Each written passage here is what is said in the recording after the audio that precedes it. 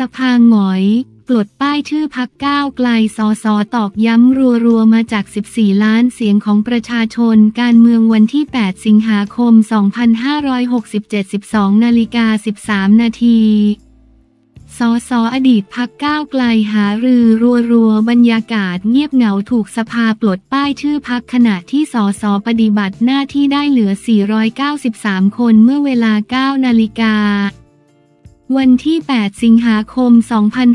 2567 ที่รัฐสภาในการประชุมสภาผู้แทนราษฎรที่มีนายวันมูฮัมหมัด นอมทา ประธานสภาผู้แทนราษฎรทำหน้าที่ประธานการประชุมโดยบรรยากาศในห้องประชุมพบว่าค่อนข้างเงียบเหงา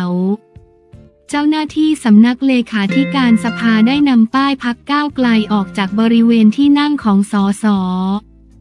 ตั้งแต่เมื่อวานนี้ วันที่ 7 สิงหาคม ก่อนเข้าสู่วาระที่ประชุมได้เปิดให้สมาชิกหารือปัญหาความเดือดร้อนในพื้นที่นั้นจำนวน 184 คน โดยเฉพาะสสอดีตพักก้าวไกลที่มาเข้าร่วมประชุมเพียง 10-13 คนเท่านั้น แต่ละคนมีสีหน้าที่ค่อนข้างตึงเครียด บางส่วนก็นิ่งเฉยไม่มีการเดินไปพูดคุยกับเพื่อนสมาชิกเท่าที่ควร แต่ทุกคนยังทำหน้าที่หารือที่ประชุมถึงปัญหาชาวบ้านในพื้นที่ต่างๆ ซึ่งจะแนะนำตัวเองว่าเป็น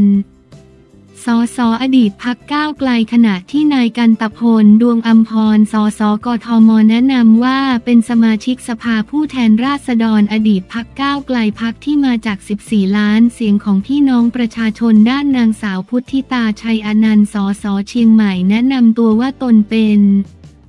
สสอดีตพักก้าวไกลที่มาจากเสียงของประชาชนกว่า 14 ล้านเสียง และจากไปด้วย 9 เสียงเมื่อวานนี้ พร้อมทิ้งท้ายความในใจว่า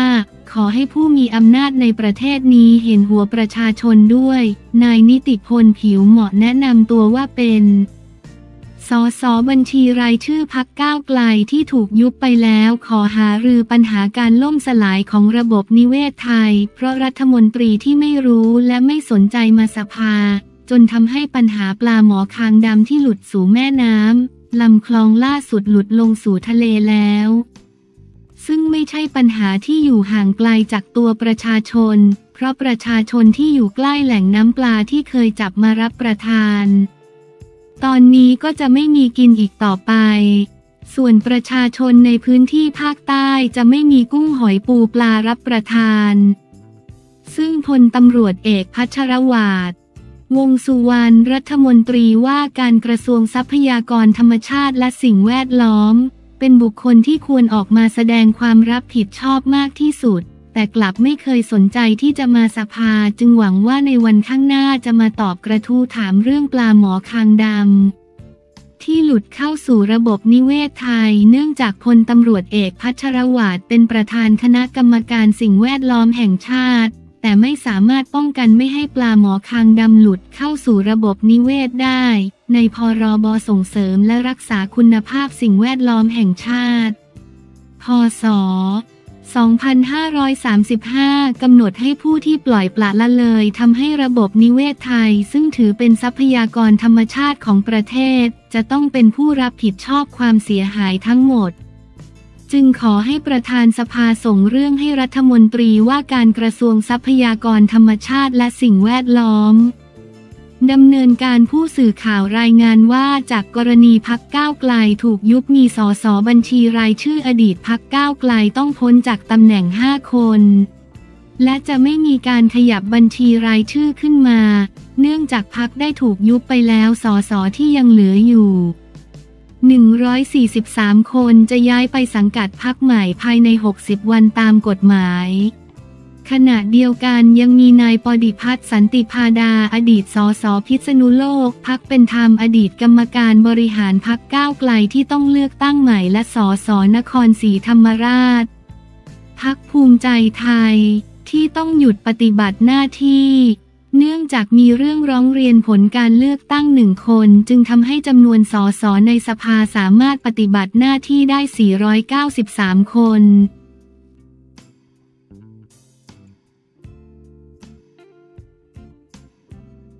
อยู่บัลลังก์เต็มที่แล้วก่อนพ่ายหนุ่มสเปนรอบแรกยังได้ลุ้นรอบแก้ตัวอัปเดตโอลิมปิก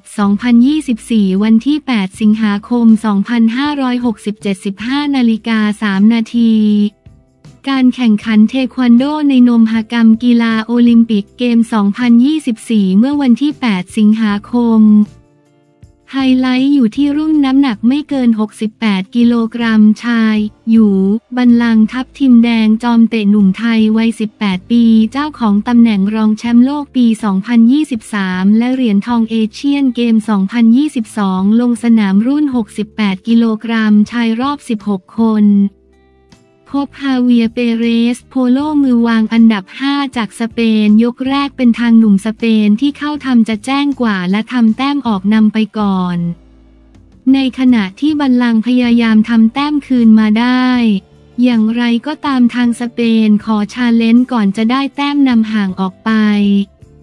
หมดเวลาเป็นทางฮาเวียเปเรสโพโลที่เอาชนะไปก่อน 7-1 ขึ้นนำ1-0 ยกในยกที่ 2บัลลังรูปเกมสูสีทำแต้มไล่กันมา แต่สุดท้ายยก 2 เสมอกันไป 2-2ทำให้กลายเป็นฮาเวียเปเรสโพโลที่เอาชนะไปในแมตช์นี้ พร้อมผ่านเข้าสู่รอบ 8 คน ขณะที่อยู่บัลลังต้องลุ้นให้คู่แข่งสเปนเข้าถึงรอบชิงชนะเลิศ เพื่อโอกาสของตัวเองในการเข้าชิงเหรียญทองแดงต่อไป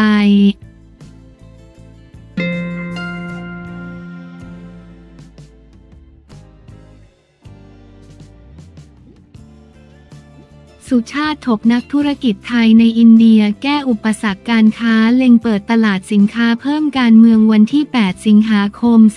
2567 12นาฬิกา15 นาที สุชาติพบนักธุรกิจไทยในอินเดียยืนยันเป็นตลาดศักยภาพเตรียมขยายฐานสินค้าเพิ่มฝากคนรุ่นใหม่กล้าเผชิญความท้าทาย หากติดปัญหาประสานพาณิชย์ได้ทันทีวันที่ 8 สิงหาคม 2567 ผู้สื่อข่าวรายงานว่าเมื่อวันที่ 7 สิงหาคมเวลา 15 นาฬิกา 30 นาที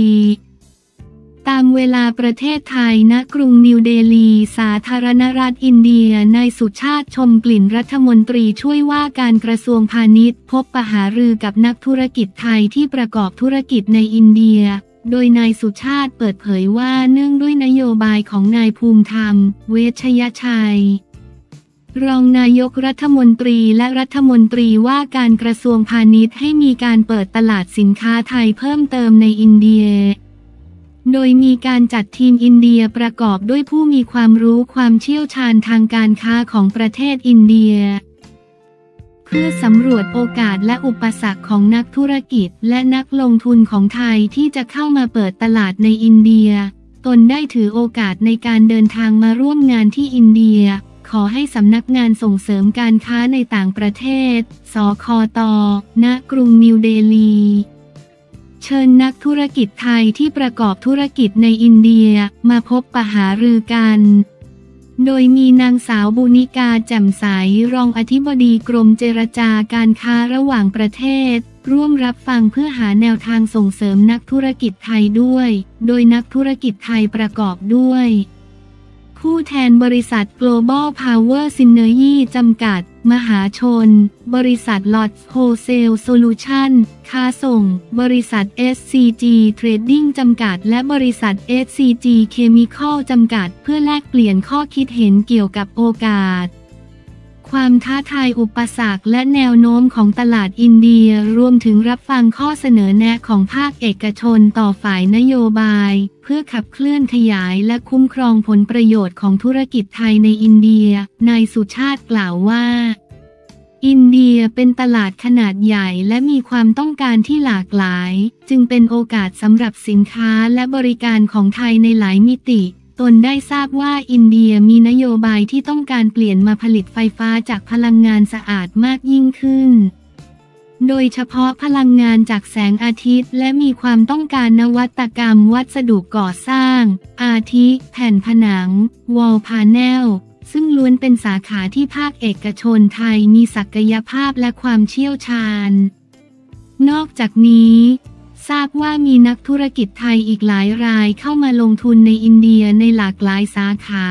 อาทิ ยานยนต์และชิ้นส่วนธุรกิจการบินและอสังหาริมทรัพย์ โดยบริษัทเหล่านี้ถือเป็นต้นแบบที่กล้ารุกเปิดตลาดในต่างประเทศ กระทรวงพาณิชย์ตระหนักถึงผลประโยชน์ของผู้ประกอบการและธุรกิจไทย ทั้งรายใหญ่และรายย่อยรวมถึงการหาช่องทางเพื่อแก้ไขอุปสรรคทางการค้าในเชิงนโยบาย แสวงหาโอกาสและลู่ทางการค้าและการลงทุนของไทย พื่อต่อยอดความสัมพันธ์หุ้นส่วนยุทธศาสตร์ระหว่างไทยกับอินเดีย โดยขอฝากนักธุรกิจรุ่นใหม่ของไทยที่มาลงทุนในอินเดียให้มีความกล้าเผชิญ และฝ่าฟันต่อความท้าทายให้ได้ หากเกิดปัญหาหรืออุปสรรคใดที่ทางกระทรวงพาณิชย์ จะให้ความช่วยเหลือหรือสนับสนุนได้ ขอให้รีบประสานไปยังกระทรวงพาณิชย์ โดยผ่านสำนักงานส่งเสริมการค้าในต่างประเทศณกรุงนิวเดลีได้ทันที นายสุชาติกล่าว